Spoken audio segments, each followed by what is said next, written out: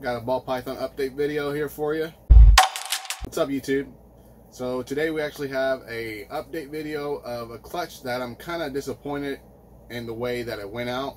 Um, not because anything bad happened, but because I didn't prove out a female for Het Pied. So um, I actually don't have that female anymore. I actually found someone that she was obviously she, at that point she was just a normal and somebody just wanted a pet. So they reached out to me and they got a normal female as a pet and uh, she's going to live it up that way. But I don't have her anymore, so I can't show you what she looks like.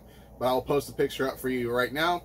Uh, so this female was given to me as a possible het pied.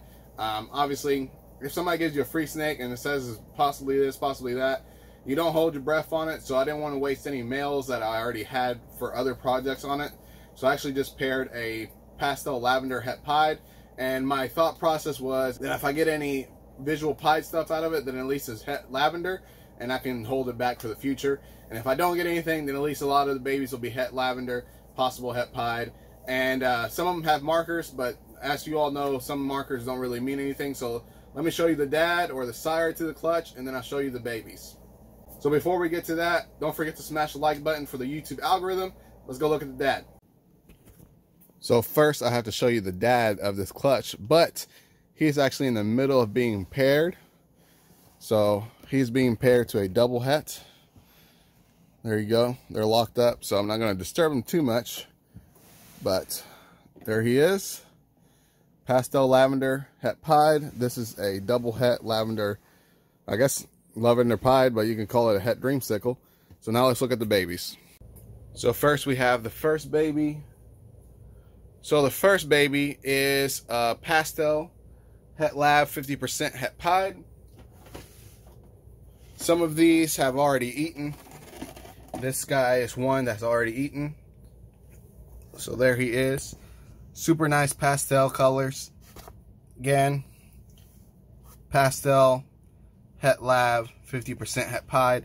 And this one does not have any markers, but he looks pretty good anyways. Let's look at baby number two. Baby number two is also a pastel het lav 50% het pied. This one, it's not as bright as the other one, but still looks very good. And some of these do have markers. They're just not letting me see. Ball pythons, who would have thunk it? Uh, but yeah, super nice. Not as bright as the other one. But let's look at baby number three. Baby number three is a female pastel het lav, 50% het pied. Super nice colors. These girl, this girl has already ate as well. This one does not have pied markers. There's three of them that have pied markers. I'll have to look, but not that it matters. If you're purchasing one, when this video goes live, they will be available on the website. Uh, but if you're purchasing one, they will be marked saying if they have markers in that, which the markers don't mean anything. They're still going to be 50% het pied uh, until proven. So just keep that in mind. Baby number four is another pastel het lav 50% het pied. This is a male, and this guy can't tell you if it has markers either. Just looking at it, I have to unravel them to get it. When I post pictures of them, you'll be able to see better. And like I said, I will mark them to see if they have markers or not.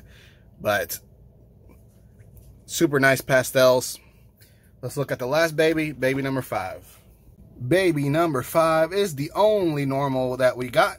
This is a normal female, 100% het lavender, 50% het pied, and uh, no markers here. Maybe slightly. It's not really enough to consider those markers, but super nice baby very clean for being a normal. You can see there's no alien heads practically. There's an alien eye and another alien eye, but doesn't look like there's many alien heads. Super nice. Again, this is a female. These are all going to be relatively cheap because of the fact that they're hets instead of visuals.